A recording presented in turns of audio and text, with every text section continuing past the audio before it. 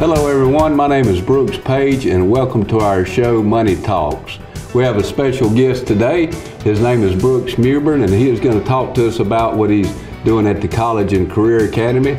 And uh, Brooks is the current College and Career Academy CEO. Brooks, welcome to our show.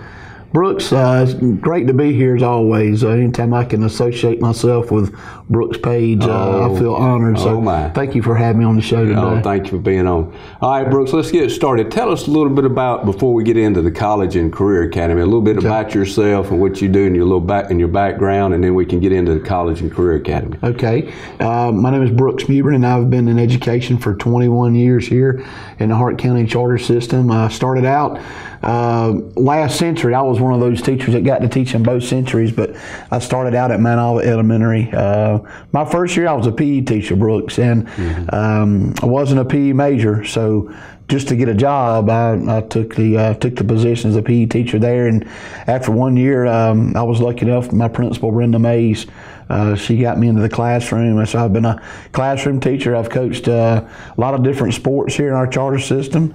I've served as a classroom teacher, a graduation coach at Hart County Middle School and Hart County High School, and uh, also served as assistant principal at Hartwell Elementary.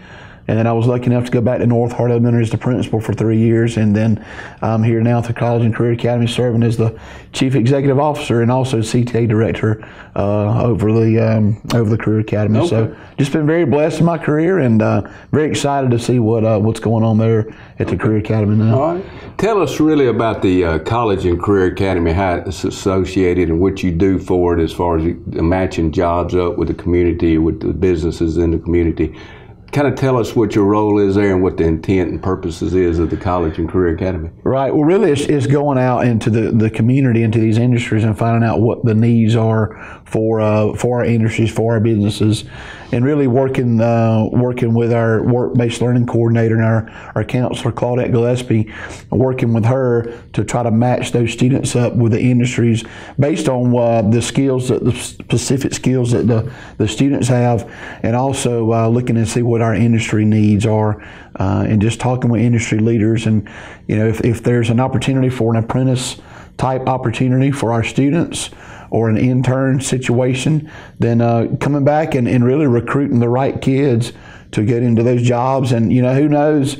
Uh, it might be a, a a part-time job um, just until they get out of high school, but it also may be something that sticks with them as an apprentice where they stay in that industry for 30 years and retire. So just looking at industry needs and coming back and uh, recruiting the right students to go into those positions is the biggest thing. Yeah, so let's talk about as far as money goes, the salaries that are out there, a range, different kind of jobs. Okay. Tell us kind of what are your what the classes are y'all are teaching at the College and Career Academy to give people an idea of what, what's going on. Okay.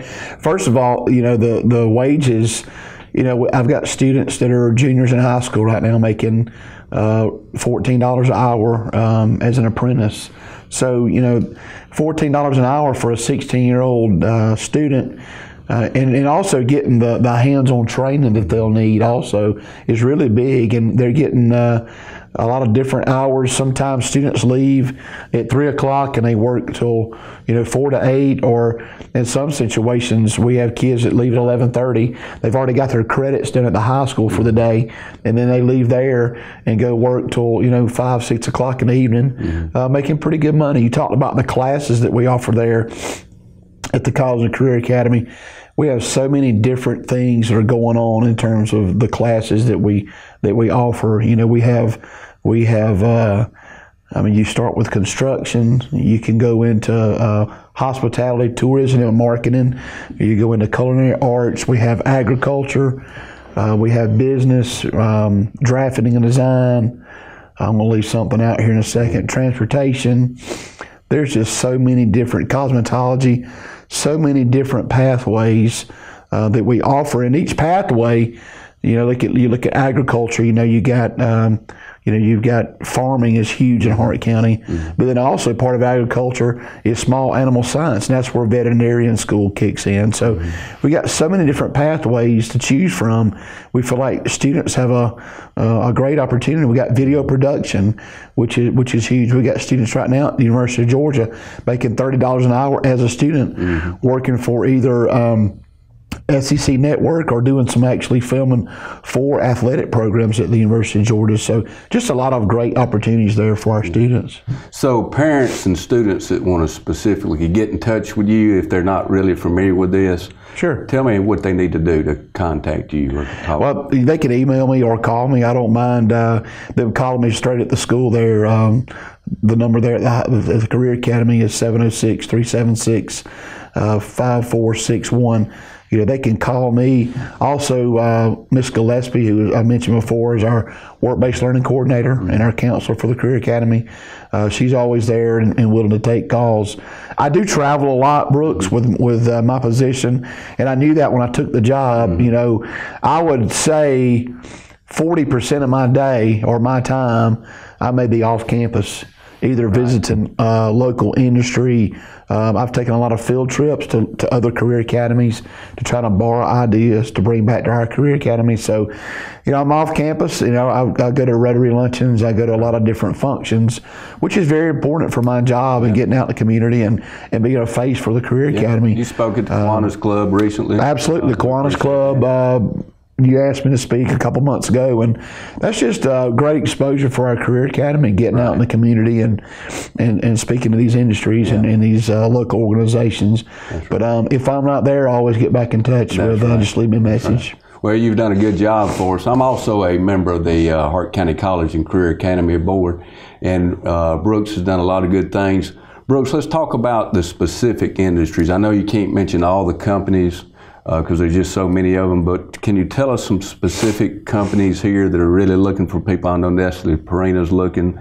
Can you get into that a little bit for us? Yeah, absolutely. And I surely don't want to leave anybody out. But you mentioned Nestle Purina, and um, I took I had an opportunity to take uh, about 40 students on a field trip to Nestle Purina um, about three weeks ago, and I'm just telling you, it's amazing. I had already been on a, a tour there uh, but it's just amazing at what Nestle Purina is doing and the kind of money that they're investing in our into our community. Um, just having the uh, the ability to show kids and actually take them because um, I can go back and I can tell them, hey, this is what I saw at Nestle Purina. And I can go back and talk to them all day. I can have a fancy PowerPoint presentation. But if you, if you can get on a bus and take these kids, these industries that are coming in, and just show them what exactly they do mm-hmm. on a day to day basis, mm-hmm. what their company is about, you know, what their culture is like, what they're actually producing. You know, our students are like, you mean these Beggin' Strips that my that my dog loves to have as a treat, uh, they're they're they're going to be produced right here in Hart County. Um, you know, the the fancy feast cat food that's already being right. shipped out right now. Um, so, see, being able to see that, and Nestle Purina is going to grow. They're expanding right. so much. Um, the production is going to be amazing in the next year or so, just to see what they're going to have to offer. But other industries certainly, um, Heraeus is going to be a, a, huge deal for our uh, for our community over the next you know three to seven years. It's going to be a huge deal, and um, they're located up on uh, exit 177 and they have not started hiring yet. It'll probably be February of 2019 before they start really hiring. But you know, they make a lot of different things. It's a German automotive um, industry, and they right now their main focus is to is to produce fuel injector sensors for several different names of uh, vehicles, but that is going to be a huge industry up there with the potential of having six to seven hundred employees over ten to twelve years. So you're talking about exponential growth there. Mm-hmm. You know, I, I, think about Royston LLC. Um, they, you know, you go to Walmart and you you check out and you put your groceries on this conveyor belt, and that nice royal blue conveyor belt was made right here in Hart County at Royston LLC. Um, you got Fabri-Tax, Lee Adams, and those guys do a great job at Fabri-Tax. You know, you got Fun Spot you got so many different opportunities. Ritz is really um, they make um, low, medium, and high voltage transformers. Uh, again, up in the uh, the industrial park up here mm-hmm. at the at the interstate. Linda Veyman is another German automotive plant. Uh, they make uh, dashboards for uh, Mercedes and BMW, and it's just amazing to see what all these industries have to to offer. And there's probably more I knew I was going to sneeze, so Wes going to cut that out. there's just so many. There's just so many things that are going on in our community. Right. Uh, it's just amazing to see, and uh, it's just uh, just great opportunities for our Right. for our students. So if you get the students out there in the plant to see what's going on, and they eventually get a job there, they really have a great opportunity if they stick with it. Of course, everybody gets an entry level job understands that it, it takes time. So, Right. but we, we got it. We have a. I think we have a great opportunity in the community for some of these big companies for these uh, students to get involved, and if they can stay in there in the long run, these are just great opportunities. I. Absolutely, and that that's kind of the whole plan is is to get these kids an opportunity based on what it is that their interest and what they love to do. You know, I always tell our students if you can if you can find a job where you feel like you get up every day and you go to work and you think to yourself, I'm getting paid to do this. Like I, I love my job and I love what I do. That's the mindset we want to try to preach to these to these students and and getting them opportunities to go to these local industries and find find that position and talk to them about you know about being about being patient. You know, um, um, you just you know you- you're not where you're going to be at 25 years old. I didn't start teaching until I was 25 years old. So I think about the last 20 years and, and, and where I, where I've been able to, to go and the things I've been able to do. You know, we try to talk about about kids being patient. Listen, we're going to get you this apprentice opportunity, and the employer is telling you that if you'll do this, this, and this, this is where you'll be in 10 to 15 years. And for some of them, it's management or supervision. Um, for some of them, it's, it's upper management roles that they can that they can slide into. But there has to be a sense of patience. Um, so that's another thing. It's just Right. great opportunities for, for these kids. Right. You know, another great, great thing that just makes me so happy when I see y'all doing this is, is like you know when you have sports and athletes getting getting recognition for getting Right. scholarships, et cetera, et cetera. Now I see that y'all, when y'all have a student that may sign or, or go with a company, that y'all make a big deal out of it that way, and I think that is wonderful. Yeah, we, we did start those industry signing days, and I actually I had mentioned before that I had been traveling around to some career academies, and uh, you know, in education, it's all about borrowing ideas. You know, and I always try to give people credit when I borrow things. But um, Morgan County High School is, is one to say they uh, they have industry signing days, and you're right. When, when we have a student athlete who signs a scholarship or wherever to play football or baseball or whatever the sport may be, we have this big signing day, and we invite their families to come in and all. And so we started doing that uh, with our with our industries. We have industry signing days where the the uh, student will actually sign a letter of commitment uh, to that industry. We've had a couple so far. BNC Mechanical, um, BNC Mechanical is one. Fabritex is another. I know we've got some other signing days going to coming up in December. Uh, we're going to sign on with uh, got some kids signing on with McGee Heating and Air. We think uh, Robert uh, Kiesler for that. But we've got another signing day coming up in uh, early December uh, that we're gonna we're gonna do the same thing with. It's just an opportunity for these kids to sit behind a camera with their family, with the industry, and it you know it just takes a sense Right. of pride. Right. And that's what that's what it's about. And, and, and having that letter of commitment that they sign is huge because they're understanding when they put their name on that dotted line that they're going to go and they're going to represent their family, themselves, and our career academy the best way they can Yeah. In that industry. So that that is a pretty cool thing. But it um, it wasn't my idea. I did I did borrow the idea, but uh, I think it's something that we can just really grow on. We're planning on having those about four times a year. Oh, so I think that's great. one- Once each quarter. So I it'll be a think that's thing. absolutely Yeah, great. Absolutely. So tell us a little bit about what's what we both know is extremely important when you go in for these interviews is some soft skills and what these students and these applicants need to know. Right. Hit on hit on some of those points, please. Well, you know, when I go to these industries all the time, Brooks, they're always, I said, what, what do you need from our kids?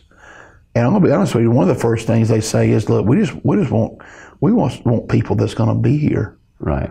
because you know a lot of times uh, in, in different jobs people don't show up. So just being being at work is huge. Um, and then also when you're going to be there, we teach this one, one of the biggest soft skills that I harp on all the time to our kids and to my staff is just be on time. Be on time. If you have a hard time being on time, you know, set your clock 10, 15 minutes earlier. it's important. Um, I, I, have told my kids all. I tell my kids all the time, and my own personal kids too, that if I showed up to work 30 minutes late every day, I'm quite sure that our superintendent will find another CEO for the College and Career Academy. So, being at work, being on time, and when we go into interview, you know, I've, I've sat in on several interviews with our with our students at, different places, mm-hmm. um, just because I want to observe you know their demeanor and what's going on so I can come back and teach other kids and we talk about eye contact maintaining eye contact when I talk to you I look at you in the eyes right. I don't look at your tie I don't look above your head I make eye contact and the other thing is you know you want to sometimes you only get one chance to make that first impression right. so you know dressing nicely it doesn't always have to be a, uh, a tuxedo but you know dress presentable you want to when you walk in you want people to remember God, I remember what he or she dressed like. Mm-hmm. I remember that they looked at me when I talked to them. And when their interview was over, they had a nice, firm handshake. And we also talk about following up too. You know, all of our students have access to an email. Mm-hmm. So it might be um, emailing the industry leader after the interview and saying, hey, I appreciate your time. Thank you for the opportunity. I look forward to hearing back from you. So those are just some just some soft skills that we preach all the time. And put up your cell phone. Yeah, put your yeah. cell phone away. Put your cell phone away when you come in the door. You know, we as adults have a hard time with that sometimes. Right. Oh yeah. You know. Um, Absolutely. But yeah, that's that's very important because that's just kind of the wave that we're in this 21st century. Is you know, kids all they're always want to be on their on their cell phone. Right. And then also when when we set up interviews I don't call a self interview. I have students in my office and I, they get their cell phone out and I'll make them do the calling because it's not about me. I've got a job. Right. It's about the students and I have them call and set them up. And a lot of times our students have a, to be honest with you, they have a hard time talking on the telephone these days because right. they're the new wave That's is right. that they text and they do everything this way. But you know, it's all about getting on the phone you making the contact, setting everything up, and then following through with it. Those That's are just right. some soft skills that I think most kids have have hard times with. Right. But um, that's part of our job too, is educating our kids on, right. on the employability skills and the soft skills that they'll need, not only to get the job, to be able to stay in the job as well. Right. Let's uh, talk about some of your great teachers down there. Now I know you got a lot of them. We yes, don't sir. want to point any of them out. Uh, right uh, but I want to talk, do want to talk about one that's, that's a great one down there. It has a great connection with the students. I know him very well. Uh, his name's Mike Carey, and Mike does an excellent job of connecting with these kids getting involved with them and, and staying involved with them even after graduation. But Mike uh, is just a great guy, and he and there's many others down there that do the exact same thing. And I don't want to just bring out just Mike, but can you tell me some of the good attributes he has, along with your other teachers that do the same thing that Mike does? Well, I, I think the biggest thing that that separates Mike from a, a lot of teachers um, is, is Mike does a great job of building relationships with kids. Right. Um, and he is uh, he's got the kids' best interest at heart, and that's the way it should be. Um, I always felt like as a classroom teacher, if I if I failed to connect to that kid, if I failed to build a relationship with that with that kid, then I was doing them a disservice, and I probably wasn't going to be uh, very impactful or meaningful to that kid. But Mike Carey does a great job of that. He cares about his kids. He uh, he kind of cuts up and laughs and goes on with them, but at the same time. Um, they know when he's serious, right. he's serious. And there's always a time and place for, for everything. But Mike does a great job of, of connecting with these kids and, and getting them opportunities, you know, after high school, graduation. And um, he, he teaches our construction mm-hmm. class and mm-hmm. he also teaches kids uh, about the HVAC systems. Uh, a lot of industrial systems type things going on there. He does a lot of a lot of uh, projects with wood, obviously, with his job. But the biggest thing he does is he builds relationships with right. his kids. And we and we know you have other teachers that do the same. Oh, absolutely. We have uh, a great department. I've got yeah. 14, uh, 14 great teachers down there at the Career Academy and you know, over at the middle school, we've got I've got three three more that fall underneath my umbrella. But um, just um, our teachers do a great job right. of connecting those kids. They provide a lot of opportunities for them uh, for field trips. They take them on. Um, they take them on a lot of different, um, you know, agriculture. We, mm-hmm. Um, our teachers take them down to Perry for the for the uh, right. for the uh, annual show. They've gone to Indianapolis uh, for the National Ag Convention this year, and you know, it's just a lot of uh, great opportunities through TSA mm-hmm. um, that these students wouldn't have otherwise. Right. But I, but it goes back to building relationships with those kids. Right. That's the biggest reason. I always ask teachers at every level that I that I that I've been in. I've I've taught in every school in the system except for one, um, but I always talk to my teachers about if you're not here for the kids, why are you why are you around? Why are you here? Because if you're not here for, for what's best for the kids, I don't I don't need you. Um, and that that's so true. Oh yeah. If you got an education for anything other, other than making a difference in a kid's life, you're in it for the, for the wrong You're, reason. you're there just for a paycheck. Uh, yeah, that and two months off during the summer, and I don't. That- that's right. That don't jihad with me. That's right. You should be there to, to build relationships with those kids. That's, what it's all about. Okay. All right. Your students, when they graduate from high school, they've got Yeah. some choices to make. They, can go to college. They can go to technical school. They can go right into the workforce. So tell us a little bit about that, and give us some, uh, give us your opinions on, you know, how they decide what to do and that kind of thing. Right. Well, you, you know, when we were growing up, um, you know, it was you know you got to go to college. You got to go to college. If you don't go to college, you're gonna be you're gonna miss the boat. Um, and, and listen, I get that. Um, obviously, in my job, if I didn't have a specialist degree in leadership, I wouldn't be able to, to serve in the role that I that I am currently.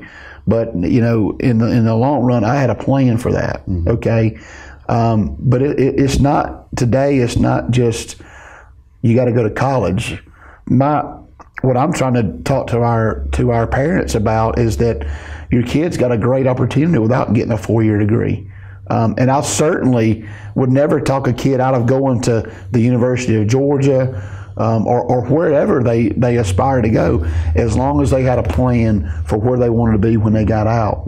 And sometimes it's not making the kid understand that; it's about making their kid their, their parents understand that because they feel like, well, if you don't have a four year degree, you're not going to be able to make the money that you want. But it is so far from the truth today. Um, it's not even funny because if you look out, if I started on this end and I just I just started here and I just I just wrote out teacher, principal, cosmetologist, veterinarian, and I just named hundred jobs. Okay, I could name sixty-seven of them that don't require a four-year degree. The, the, the other the rest of them the other was it 33 Right. the other 33% of the jobs do require a four-year degree. And i put teachers in that category. I, obviously doctors lawyers veterinarian you know there, there are 33 jobs out of 100 that require a four-year degree. My, mine's one of them. Right. okay? If you've got a plan to go to a four-year university or four-year college or even go to, to technical school and then transfer in i hope that you've got a plan because we're talking about money talks today. Um, and i'm just telling you i'm still paying back student loans because my wife and i have gone back and got advanced degrees Right, right. those advanced degrees are about you know five to ten thousand dollars a piece too Oh yeah. um, so it's a lot. It's a, it's a huge investment. But I personally have got I've got cousins. One cousin in particular that's making six figures over in Athens, and he's a plant manager. He never went to college for. He didn't go to college for one hour. Great example. Absolutely. You know, we've got we've got uh, industries right here in Hart County who have got people that are in leadership roles that they didn't go to college. Right. My mom and dad didn't go to college, but my mom is accounts payable administrator at, at Royston LLC, mm-hmm. making very good money. Mm-hmm. She never went to college. My dad didn't go to college. He's been driving a truck for for 50 years, a mm-hmm. transfer truck. But he's the number two senior driver at Alls on Lavonia Wow. and making really good money. So there's just a different way to, to get to the end. Right. And I want parents to know today that, you know, if you if your kid is going to college, that is a great thing. I would never my job is not to talk kids out of going to college. My job is to try to help those students who want to go to college get where they want to be. But then the ones that come to my office and say, Coach, I'm scared to go to college. What opportunities do we have in Hart County for me? Because I don't want to leave Hart County. I love my family. I love my community. I just want to give back here. There are there are countless opportunities for kids that grew up here that want to stay here to make a really good living. Some of them making six figures by the time they're 45 years old and ready for retirement. Uh-huh. If you get in the right, if you, mm-hmm. if you know the right person and get in at the right time, like these industries coming in right now at Hart County, in Hart County, um, it's a great opportunity for, for, for my kid, your kid, to be able to get on with those organizations at an early age, they'll be the industry leaders in, in, in 15 to 20 years and retiring very wealthy. So, um, you know, I think the biggest message out there is just that finding what fits for the kid. Listen, if you want to be a teacher, that's great. There's plenty of opportunities out there, and you'll have to have a four year degree. Right. What's your plan for it? Right. Okay. I did not have that plan. Right. Okay, I graduated high school, went to Emmanuel College, went to Gainesville College, went to the University of Georgia, and ended up at Emmanuel College getting a degree in early childhood education. Okay, that wasn't the smartest thing in the world to do because I, I, I- spun my wheels at different stops, right? And that every time I spun a wheel, it cost me money. And I didn't really have that plan. So having that plan, and you know, it's not that the plan can't change. You may get into college and decide, hey, this is not for me. I want to change. That that's okay. But we want to try to get kids right now. You know, we talk about a six-year plan all the time, starting in the seventh grade. You know, where do you want to be in five, six years? You know, what's your plan? So, I think just parents need to have an open mind about opportunities for the kids, and don't try to live your life through your kids. Like, let your kids. Uh, my my my own kids may not have the same interest that I did when I come out, right? Right. So supporting your kids um, and trying to find the best opportunity. And my the last statement I always this is my 30 second elevator speech real quick. Kids should not be forced to leave Hart County to find a good job unless they just want to leave Hart County. Okay, if you want to leave Hart County, I always tell kids, listen, that's great.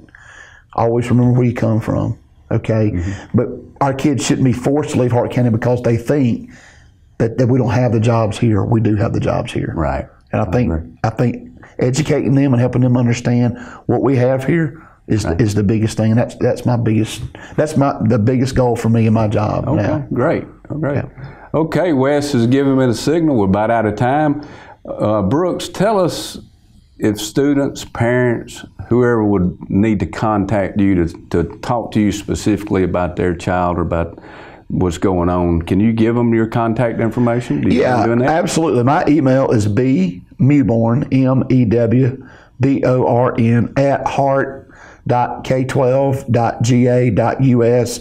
And as again, uh, you can connect me uh, with me uh, by phone at uh, 706 436 1430. That's my personal cell phone. Okay. I love to sit down with parents and students and, and talk about a game plan of where where they can uh, be over time. I, I've already uh, got a couple parents I've been in contact with about uh, possible jobs at these industries. So I don't mind taking a phone call on my cell phone. That's great. Shoot me an email. I love to sit down and let's let's get the future planned out for your kid, or at least what the opportunities are for them. Um, that's that's part of my job. and Okay, that's great. I want to promote Hart County industry all I can. I'm a hometown guy. I grew up here. Me too. I love it here. You are too. And uh, I just want to give back to my community, and hopefully, some of these kids that are coming up now will want to do the same thing, Brooks. Okay.